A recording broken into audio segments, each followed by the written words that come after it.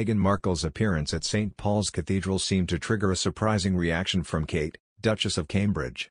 The two duchesses both attended the cathedral for a service of thanksgiving, hosted to honor the Queen's 70 years on the throne. Meghan Markle attracted attention as she arrived with Prince Harry wearing an all-white outfit. Twitter user Vee, at Meghan Mood, who runs the Sussex Set podcast, shared a clip of Kate turning around in the cathedral. Many Twitter users have claimed she can be seen saying wow after spotting the Sussexes. While it is unclear exactly what Kate was saying, one royal watcher, with the username at Liz Cake Emporium said, OMG did she say wow? Something is afoot. Ella Diaz, at Facts Pusher, agreed, writing, wow is right. This is what Kate was probably looking at.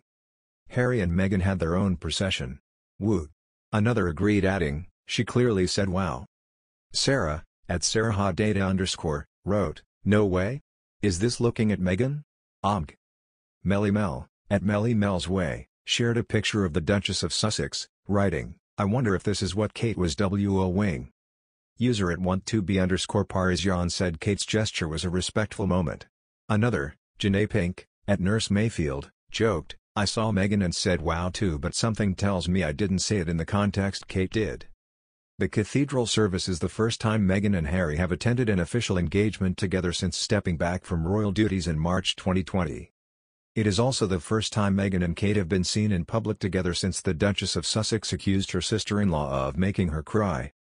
During her bombshell interview with Oprah Winfrey, which aired in March 2021, Meghan claimed that Kate had upset her in a spat over flower girl dresses. She said, It made me cry and it really hurt my feelings, and I thought in the context of everything else that was going on in those days leading to the wedding that it didn't make sense to not be just doing what everyone else was doing, which was try to be supportive, knowing what was going on with my dad and whatnot. She later said that Kate had owned it and had brought her flowers and a note to apologize. The Sussexes returned to the UK earlier this week to attend the Queen's Jubilee celebrations. Prince Charles showed a moment of warm affection towards Kate at St. Paul's Cathedral when he blew his daughter-in-law a kiss as they met.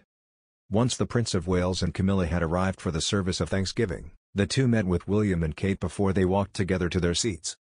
On previous occasions, Prince Charles has been seen greeting his daughter-in-law with a kiss on both cheeks, but cameras captured the sweet moment when the heir to the throne gently blew Kate a kiss, as they met. However, the Prince of Wales was not seen greeting or interacting with his other daughter-in-law Meghan Markle, after royal aides carefully managed the seating plan to keep Charles. Camilla and the Cambridges separate from the Sussexes. Harry and William have had a long-standing feud, while Harry has accused his father Charles of cutting him off financially and Meghan claimed an unnamed royal made a comment about Archie's skin tone before he was born, with the Sussexes having a war of words with the palace following last year's bombshell Oprah Winfrey interview.